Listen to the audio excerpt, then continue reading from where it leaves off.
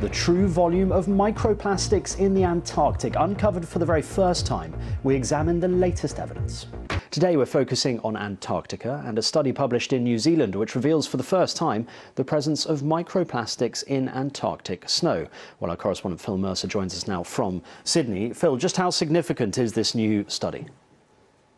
Well, when researchers from the University of Canterbury in New Zealand set out to sample fresh snowfall in Antarctica in the latter part of 2019, they said they were pretty confident that they wouldn't find any microplastics. They took samples from 19 locations and uh, they were pretty surprised with what they found because they discovered microplastics in every location, including locations near scientific bases and also more remote places too. So this is a significant moment according to those uh, researchers. They say that this is the very first published study that confirms the presence of microplastics uh, in Antarctica. Now they believe these uh, bits of plastic debris could have uh, flown on the air over thousands thousands of kilometers, or more likely from nearby scientific bases. The presence of people on Antarctica, they believe, could well have uh, produced this uh, microplastic footprint. So, uh, in one of the most remote and pristine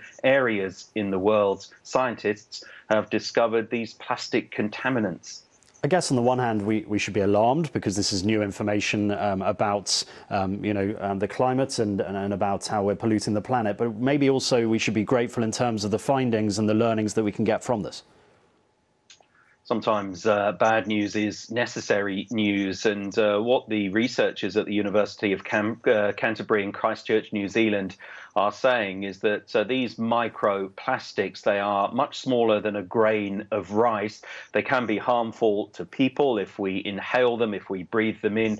It can also be uh, damaging to marine organisms if they are ingested or eaten. In a broader sense, the researchers say there is a potential for these microplastics to influence climate change. Now, many of these bits of plastic debris are dark in color, they are blue or black, and they can absorb sunlight, creating very small localized areas of heating. Now, when researchers analysed these plastic uh, pieces, they found uh, more than a dozen types of plastic. The most common came from plastic soft drink bottles and clothing. And the message is from this research team for the, the rest of the world is that the management of plastic, the manufacture of plastic, and uh, the care of it when it's uh, being finished with by consumers is of the utmost importance. So you're absolutely right. This is uh, shining a light on uh, a serious problem that is now affecting parts of Antarctica.